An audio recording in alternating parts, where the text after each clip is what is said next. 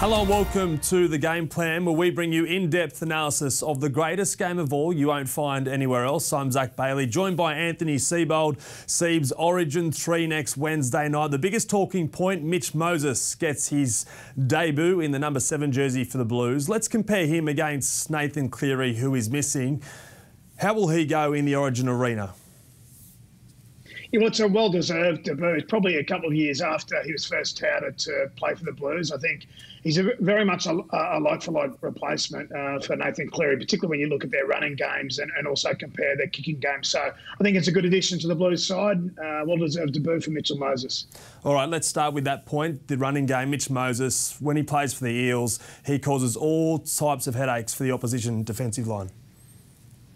It's a real weapon in his game. He's made over 30 tackle breaks this year off the back of his show and go. And this is an example from a few weeks ago against the Wests Tigers. There's Mitchell Moses, shows on the outside, takes the inside shoulder of Billy Walters there in the number 19 and makes the line break down the field. Obviously, he's got great support there through Gutherson and also Waqa Blake, but does it all himself. Now, I think he'll bring that running game to uh, next Wednesday night. He'll threaten the Maroons' edge defence, particularly on their left-hand side. This is another example. It was the uh, Magic weekend at uh, Brisbane a number of weeks ago, playing against the Warriors. You'll see he's actually a right-hand carry, so he will be suited to the right-hand side of the field for the Blues. He goes through there with a show and go, fantastic play and finds Reagan Campbell Gillard on his inside shoulder to put him underneath the stick. So I really like that about his game there, Zach. As I said, over 30 tackle breaks it's going to be really important for the Blues next Wednesday night to threaten. You just mentioned there, Siebes, that he might be suited to the right, but he plays his club footy with the Eels on the left-hand side. So how will he find that transition back to the right, given Jack Wighton will uh, play on the left-hand side for the Blues?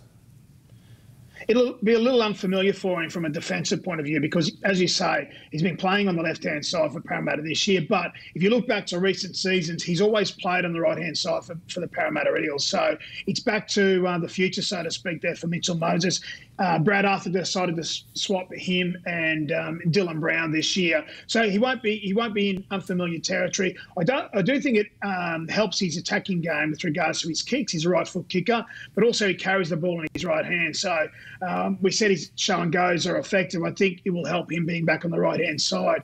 The other thing I want to point out, Zach, is New South Wales Blues have had um, you know, plenty of opportunities by getting the foreign defenders for the Queensland side involved in the tackle. And what they like to do is then play on the keep going. And I found an example, and you can find a number of examples of this in Mitchell Moses' game. Again, this is from the Wests Tigers a few weeks ago. They get the foreign defender inside the tackle, and you'll see there's Mitchell Moses out the back of shape. And if I just identify Mitchell there, he's got a couple of options. Obviously, he's got the option to hit Sevo, but he does have a really effective running game, as we suggested. And this time he takes on the Wests Tigers right hand side defence, goes through there, puts Sevo away into the left hand side corner for the Parramatta Eels. Now, expect Mitchell Moses to, to do that, but for the Blues on the other side of the park. So if we're trying to compare what it might look like, just imagine the edge back rows for um, the, the, Queensland Maroons on Wednesday night, getting inside the tackle. So in the last game, that was Jai Arrow. Uh, it'd be potentially Capewell this particular time, but getting Capewell and the back rows and the tackle like Kaufusi and Capewell, and then getting Mitchell Moses an opportunity up the short side. So you'll see here Nathan Cleary a few weeks ago in game two show and go, very, very similar to that of Mitchell Moses. So I expect them, uh, the Blues, in saying them, to adopt the same tactics. Get four in defenders in Capewell and Kaufusi in the tackle and allow Mitchell Moses to get up the short sides. And obviously he's got Tom Trbojevic on one side of the field and also Latrell Mitchell on the other side of the field. So really effective replacement, I think, in Mitchell Moses from an attacking perspective. And I guess one of the real strengths of Mitch Moses' game on that edge and trying to beat those edge defenders will be his speed. But we've got to turn our attention to his kicking game because Nathan Cleary is probably the best in the business when it comes to isolating defenders, putting them under pressure with those midfield bombs and, you know, putting them up those massive spiral kicks. Yeah, certainly. Nathan Cleary's of the best in the competition at the moment. After Cooper Cronk, I think he's the best kicker that I've seen, uh, certainly in recent times. But Mitchell Moses and the Parramatta Eels score so many points and have uh, so many kick breaks um, that they achieve off the back of Mitchell Moses' kicking game.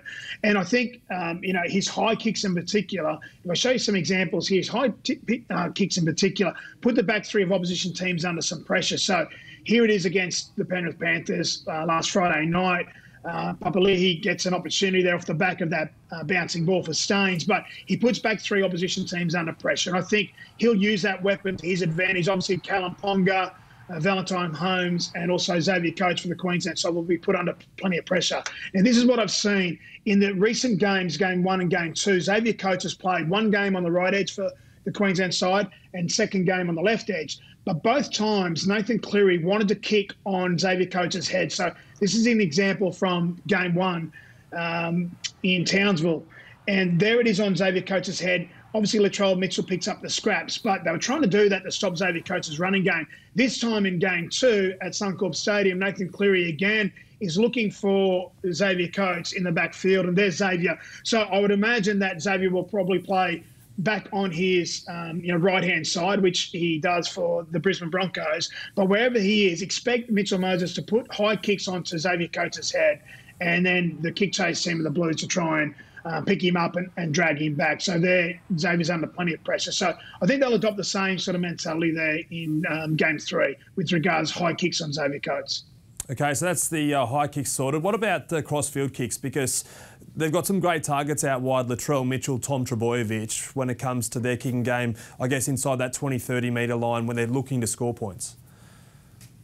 Yeah, often at club level, what we see, Zach, is halfbacks kicking for their wingers when they, you know, do those crossfield kicks. But I think they'll kick where Tom Trbojevic on the right and Latrell Mitchell on the left can get into the contest. And I've actually found some examples. Parramatta do it pretty well. Um, they score a lot of tries. Now, if I go back to to, um, to game um, one and games two, Nathan Cleary was definitely kicking for Tom Trbojevic and also Latrell Mitchell. As the clip plays through, you'll see the, the chaser in the picture there is Tom Trbojevic. Obviously, he's left his right hand side of the field, but they're trying to give him an opportunity to get inside the tackle there. Sorry, get inside the contest on the on the kick um, on the crossfield kick, and I think that's what they'll do um, effectively on Wednesday night. Mitchell Moses will take the place of Cleary there, and and you know he'll put the Queensland side under plenty of pressure. But he's got some fantastic kick targets. You can see this time kicking for Latrell Mitchell with regards to a crossfield kick.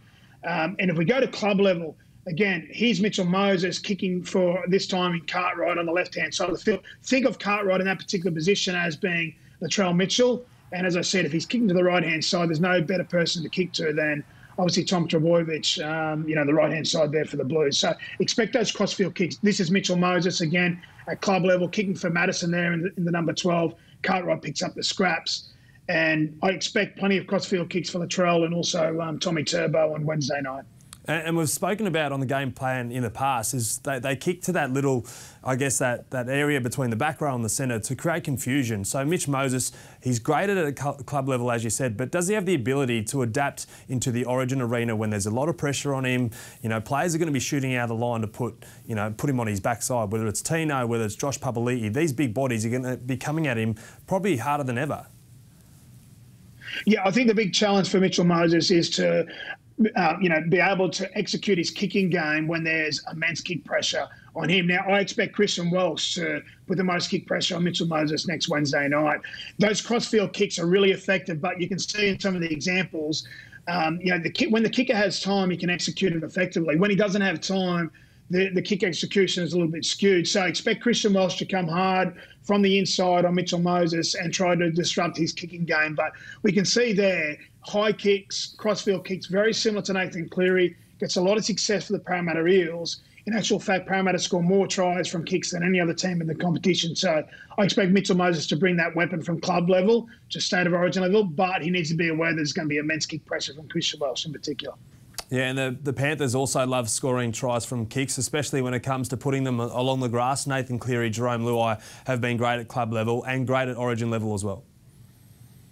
Yeah, certainly. So again, if I identify where Nathan Cleary is, he will play on both sides of the field um, for Penrith and also the Blues. So expect Mitchell Moses to appear on both sides of the field. I would expect Jack Wighton to play predominantly on the left-hand side there for the Blues. So expect Mitchell Moses to be in the number seven on that side of the field. But Nathan Cleary is very good at finding space and putting teams under pressure with his grubber kicks. I think you can see there putting Valentine Holmes under pressure. But there's Mitchell Moses at club level um, in particular, you know, against the Bulldogs a few weeks ago, putting the Bulldogs team under enormous amounts of pressure. And what that does, it, it it builds pressure on the opposition defensive team. You fatigue when you have to do lots of defence. So I think one of the things that Mitchell Moses can do is replicate Nathan Cleary's grass kicking game. Uh, where he puts grubber kicks in the in goal, and he'll put Valentine Holmes, Xavier Coates, and also, in particular, uh, Kalyn Ponga enormous pressure with those grass kicks next Wednesday.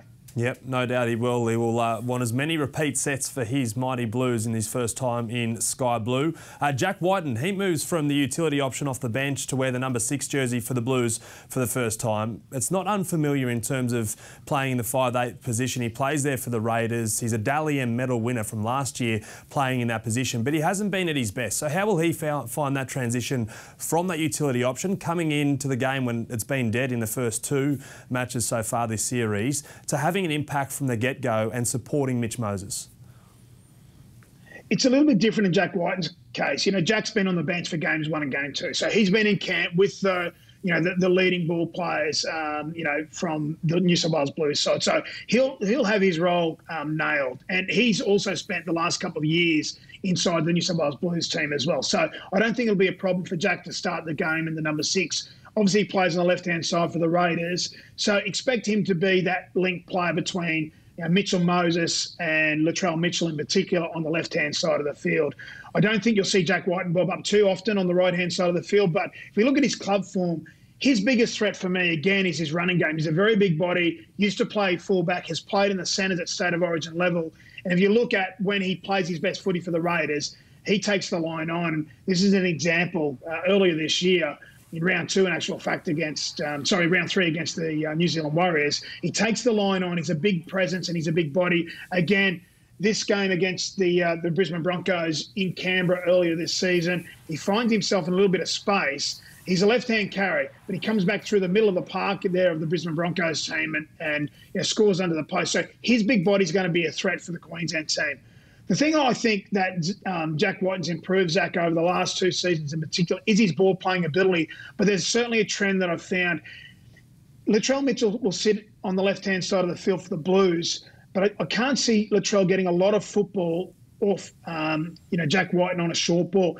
If we look at his club uh, form and, and the trend in particular, he loves playing that long ball to Rapana. And this is a couple of examples. So obviously, when George Williams was still in the halves, feeds the uh, the ball onto um, you know Jack Wighton, who puts Rapana away. Now, a very similar example against the Cowboys from a few weeks ago. On a short field position play, there's Jack Wighton in the number six out the back of shape there for the uh, the Raiders team. Gets the ball off, off Starling. Now he's got Jarrod Croker with the short ball option, or he's got Rapana with the long ball op- option, and he actually decides to play the long ball to Rapana. Now I think that. Uh, Brian To'o, um, To'o, sorry, will get plenty of ball from Jack Wighton on Wednesday night.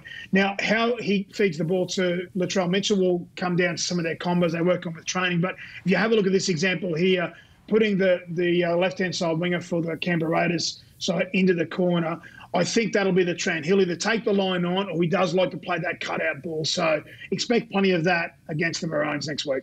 But Siebes, isn't that one of the Blues' strengths, getting early ball to Latrell Mitchell? Because Jarome Luai, yes, he's a great runner of the footy as well, but he, he chose the right moments to get the ball to Latrell and be that strike weapon on the left. So Jack Wighton, yes, he's a great ball runner. Yes, he can throw the cutout, but surely he needs to nail those passes to Latrell Mitchell. I think what you'll find out of yardage, so when the New South Wales Blues team are coming off off their line, so in their end of the field. I think you'll find still they'll get at four in defenders. So they'll get at Felise Kaufusi there as the right edge back right for the Queensland side. And then what you'll see then is you'll see um, Wighton or Mitchell Moses uh, come up the short sides with, with Latrell Mitchell. That's when you'll see that short ball to Latrell. Think back to game one and game two, and they'll create momentum up that short side. Down closer to the line, because Queensland, uh, in particular Xavier Coates in game one, if he's the right winger, uh, and Dane Gagai as well. They're quite aggressive coming off the line, so they'll try and land hard on the ball players if Tedesco's out the back, and they'll try and land on Latrell Mitchell as well. So I do think closer to the line, you'll see some long balls to the left-hand side winger for the Blues. But you're right, you need to see uh, Latrell Mitchell get some footy. I think he'll get most of his footy. Uh, in yardage when they're coming out of yardage, creating momentum. But closer to the line, just watch out for Jack Wighton's face balls to his to his winger. Yeah, still uh, those attacking threats, Latrell Mitchell, Tom Trbojevic, Mitch Moses, Jack White and the Maroons have got a massive task in stopping those four attacking threats. Add in a couple of others in the Fox, Brian To'o, and they've got a huge night ahead yeah. of them. As does Kalyn Ponga as he returns to the Origin Arena. His first match this series. Uh, but Siebes, you work with him closely at Newcastle. Uh, he returned against the Cowboys on the weekend and he, he didn't look like he's missed a beat.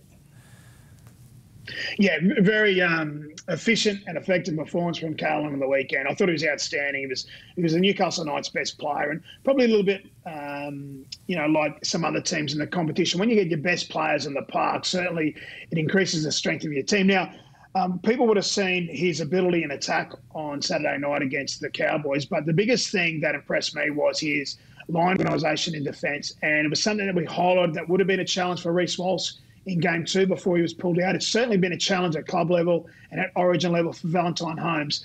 The fullbacks for um, teams in rugby league, they're the defensive captains. They organise the defensive splits. They organise where players um, will shape up when they're returning to the line and reloading to the line to get off the defensive line. So Kalyn Ponga is very good. He's very smart with regards to um, you know setting the, the, the line organisation of his team. So he'll bring that. But again, I want to point out some attacking weapons that he will bring to the Queensland side. And I think he's going to help Cherry Evans and Munster in particular. So here he is on the left hand side for the Knights. Earlier this year, in actual fact, it was his last game before his return to uh, the Knights team uh, versus Cowboys. And um, you'll see him in the left hand side here for the Knights playing against the. Um, you know the Raiders earlier this year. If I just take him back just a fraction, um, he's a real threat because people know that he can ball play, but he also can take the line on. And as I said, um, you know, he's going to be a real threat. He's going to be an option out there along with Cameron Munster. You can see him there. Good show and go. Think of, of him there on that left hand side with Cameron Munster, where Cameron Munster lives. There's two big attacking threats there. Uh, another example is we've identified and highlighted elite fullbacks in the game. When a line break is made, the elite fullbacks will come down the middle third of the field in support. And there's a really good example against the Cowboys last Saturday night. Very good short side play there by the Knights, but have a look at Kalyn Ponga back inside there. Um, of Dominic Young, and he'll go and score underneath the six. But that there for young fullbacks watching at home or, or coaches who coach developing teams, talk to your fullbacks about pushing through that middle third of the field on any line break. The ball will come back and find them, and you'll see Kalyn um, you know, go around there near the sticks and, and, convert the try. The other thing that the Blues need to be aware of is, is Kalyn in the backfield out of yardage, so either on an inside ball option of a Christian Welch or a Josh uh, Papali'i, or one off the ruck. If the Queensland forwards can create momentum, there's a real chance that Kalyn Ponga can blow up the middle third of the Blues team there. You can see against the Cowboys, only needed a little bit of an opening there with regards to eight defenders being a little bit wide. And he goes through, makes the line break, and puts Dominic Young away for the Knights team. So I thought they were a couple of really, um, you know, telling weapons for the, the Knights on Saturday night. And I think they're going to help Cherry Evans and, in particular, Munster because Kalyn does like to live on the left hand side of the field, which is Munster's side of the field. So expect them to throw plenty of punches against the Blues next Wednesday.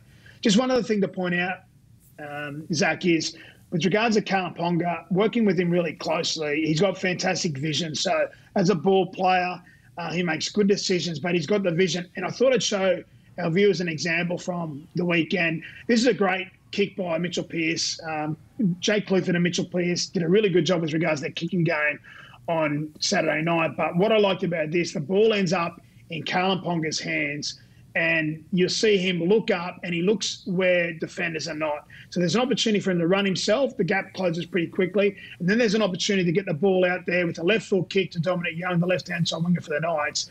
And that reminds me, that try there reminds me of game three. Queensland versus New South Wales last year when Cameron Munster did that, um, you know, kick that we highlighted a couple of weeks ago to the right hand side of the field, and Edrick Lee scored um, in the corner there for the Queensland side in, in game three last year, which was a really telling play. But Kalyn Ponga brings plenty of speed, plenty of attacking threats, plenty of vision. But what I like about Kalyn, what I think he can help the Queensland side with is the defensive organisation of their team. All right, so Kalyn Ponga's return, is it enough to earn the Maroons a win in Origin 3? They've been absolutely torn apart. Ex greats have come, or greats, Maroons greats have come in and said it wasn't the fact that they lost those games, it's the way that they lost those games that is the real issue. So, can he be the difference? Oh, look, Kalyn's going to make the Queensland side stronger. Look, Zach, I think 76 to 6 says it all games one, games two. There's a, a big gap between the two teams. The beauty of State of Origin is, um, and, and game three is now a dead rubber. It'd be great if it was live, but it's a dead rubber. The beauty of State of Origin is, historically over the years, when Queensland have their backs against the wall, they come up with a performance. Now, that might not get the result, but I expect Queensland to come up with a performance they'll make their um, state and their supporters proud of. And I think Kalyn can be part of that. I think he will help Cameron Munster and Daly Cherry, Cherry Evans in particular with regards to their attack, which has been very clunky in games one and two. Look what T- Tommy Turbo's done for, for, for Daly Cherry Evans at club level. I think Kalyn Ponga can certainly help free up um, you know, Daly on Wednesday night. And uh, I expect the uh, the Queensland side to put up a respectable respectable performance. But is it going to be enough? I don't think so. I think the Blues have got too good of a side, and that's tough for me to say as a Queenslander as well, mate. All right. Well, best of luck to yourself and all those other uh, Queensland fans out there on Wednesday night. Good on you, Zach. Anthony Seibold, thank you once again for your analysis. Thank you to all of our viewers tuning in for the game plan. We can't wait for State of Origin 3 next Wednesday night.